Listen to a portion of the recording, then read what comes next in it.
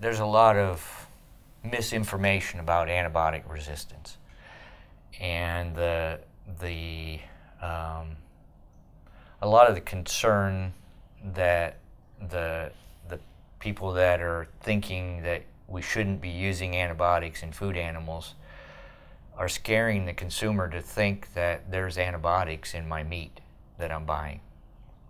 And there's not. The U.S. Department of Agriculture and the Food and Drug Administration have strict guidelines for the withdrawal of those antibiotics prior to slaughter. They know exactly when the bird's um, system metabolizes and clears those antibiotics. So there's not any risk of antibiotic in your meat. The second big concern that the, some of these consumer groups have um, scared the consumers with is the antibiotic resistance. I hate this term, but you hear people talk about these superbugs.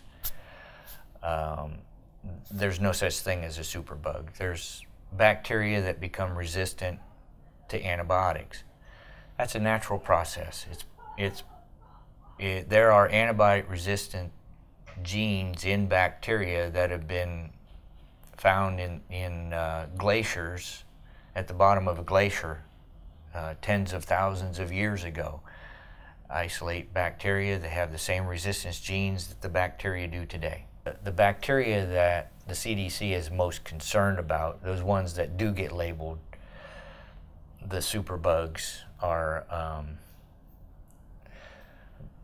and I'll use the, the big terms, uh, vancomycin resistant, enterococcus, methicillin resistant, staph aureus. These, these bacteria that can cause fatal disease in people,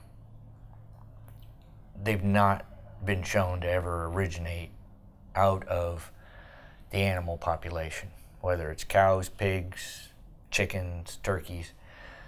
Those are hospital acquired. And so the vast majority of these superbugs are hospital acquired, and the human medical community recognizes that. And that's the reason you also see, and especially lately, I've been really pleased to see some of the reports coming out of, of different associations of, of human MDs that, hey, we do link a lot of the antibiotic resistance to what we're doing as MDs and we do need to help educate consumers to to not ask for antibiotics and educate MDs to not give antibiotics unless they're absolutely certain it's a bacterial infection.